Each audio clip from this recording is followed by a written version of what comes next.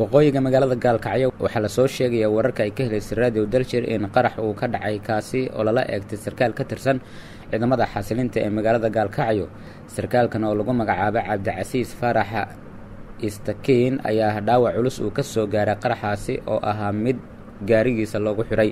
Ciidamada amniga ayaa qaraxa kadib howlgalle ka sameeyay xaafadaha waqooyiga gaalkacyo inkastoo aysan jirin cid loo soo qabtay qaraxaasi dhaawaca sarkaalkan ayaa la dhigay isbitaalka weyn ee magaalada gaalkacyo xarunta gobolka mudug halkaasi oo xaaladiisa caafimaad lagula tacaalayo.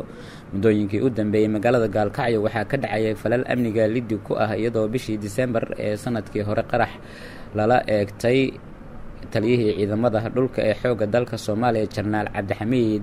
Uu ka dhacay koonfurta magaalada gaalkacyo inkastoo uu ka badbaaday weerarkaasi